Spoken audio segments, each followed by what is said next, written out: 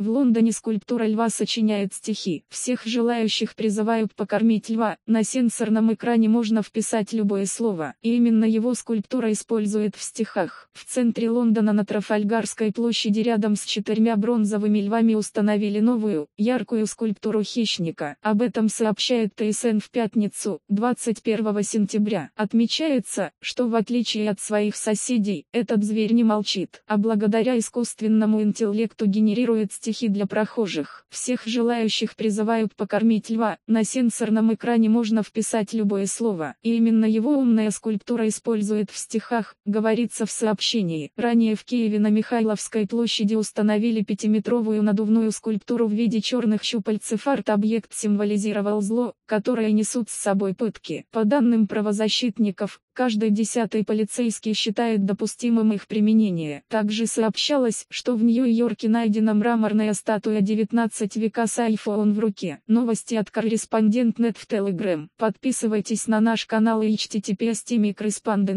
По материалам сайта Newsgro.com.